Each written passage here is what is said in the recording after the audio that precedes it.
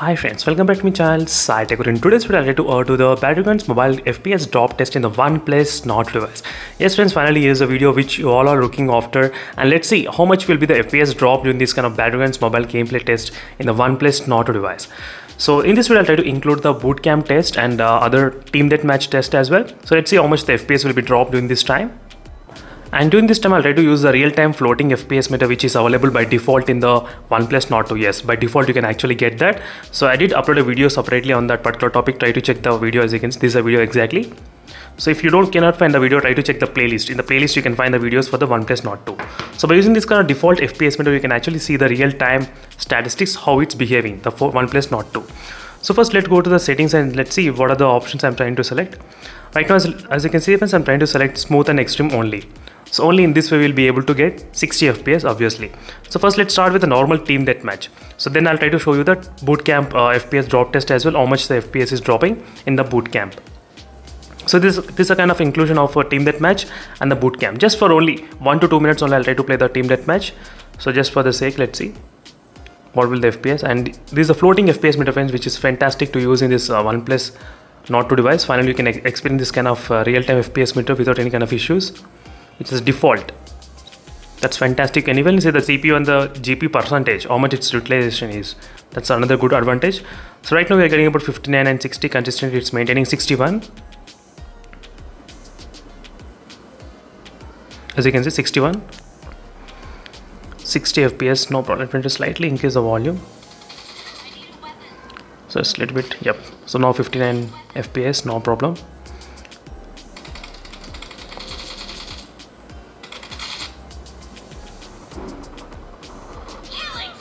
59 fps so it was maintaining really great uh, in terms of the fps meter no problems at all.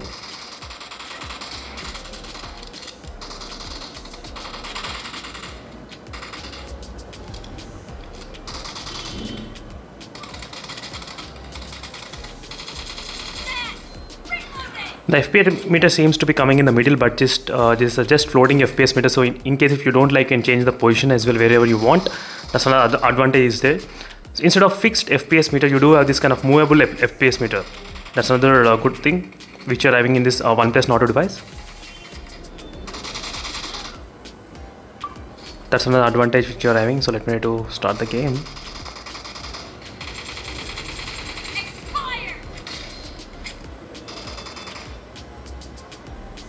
So 60 FPS, no issue 60 and 58 fps i'm trying to maintain as you can see. If you try to tap on that you will try to even minimize. That's another fantastic thing as you can see friends clearly. So now let me to go back and start playing another boot camp and i'll try to show you exactly what is happening with the fps meter as well. Let me go back and yes let's start the boot camp.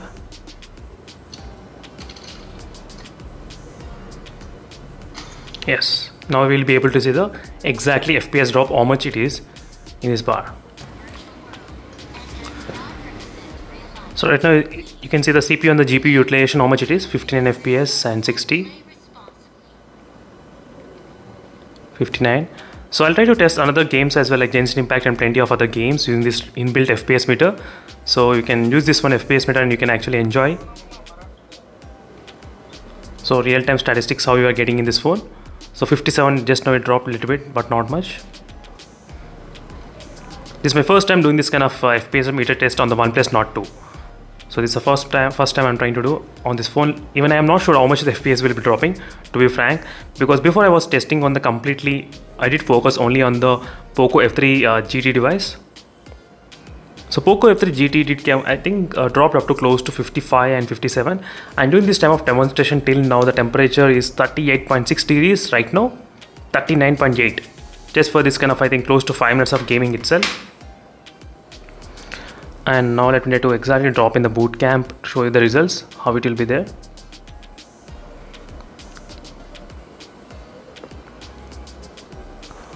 So this is my first time doing the drop test and uh, even I am excited to see how well this phone will be able to handle this kind of uh, fps meter test. And one two three get set go yes.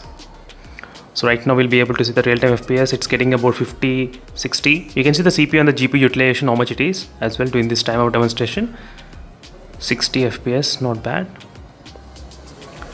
59 60 60 and 58 58 is the lowest one. 58 is the lowest one it dropped not bad. So 58 is lowest which we did see during the process of demonstration 58 58 as you can see friends exactly.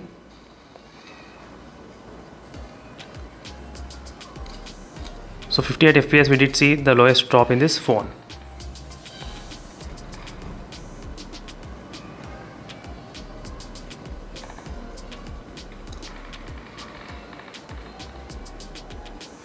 again I'll try to do the next time FPS drop test as well multiple times. So just to see how much it's kind of consistently it's maintaining consistent or not.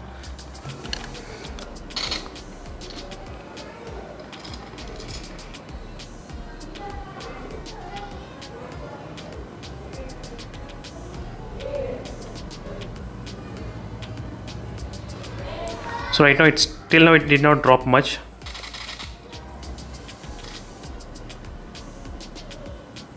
so again I'll be back. Again I'll try to do the next FPS drop test. Let's see second time how much it will be dropping. Same bootcamp multiple times I'm trying to do. So right now as you can see friends this is my second drop test which I'm trying to do exactly in the bootcamp let's see this time how much the FPS will be maintaining. So before it was it did maintain really good. So it was it was close to 58 that's it. So 58 is the lowest one I did see in the OnePlus Nord 2 not an issue. So let's see the second time how much will be the exact FPS drop second time this time. So 60 you can see the CPU and the GPU utilization how much it is? 58 FPS 58 and 61 so this time it will to drop exactly in the middle. Exactly 58 so 58 FPS 58 is only one nothing. Yes friends only 58 I can see actually see 56 as you can see just now it dropped to 56 not bad only 56 is the low, lowest one till now. We did see. 59 59 and 60 not bad. It was able to maintain 59 and 60 not bad at all so for the two times of FPS drop test, we did not see much kind of impact in this phone. In case if you want me to do the multiple times uh, gameplay test using the drop test, let me know in the comment section below. So out of two times average, I did not see much uh, issues in this phone. And the temperatures during this time of demonstration increased to 40 degrees. Just, just for gaming only, I think close to 7 minutes of time. If you look at the time of the video, you can definitely see that 40 degrees it went just for only 7 minutes of time. So I'm not sure how much it can actually go through if I try to play the game continuously, but I'll definitely do that kind of video as soon as possible how much the temperature can actually increase in this phone. So till now the 40 degrees we did see the proof as well in, in front of camera what is happening. On the back side 38.4 degrees as you can see on the back side 13.6 so till now 40 degrees is the highest temperature during this 8 minutes of testing. In case if you want to download this kind of, if you want to use this kind of FPS meter, there's a, a video which I did upload how to enable the FPS meter in the OnePlus Nord to check this video and your doubts will be cleared. So thank you for watching and see you in the next video friends. I'll stay tuned for more updates. Meanwhile, signing off. Bye.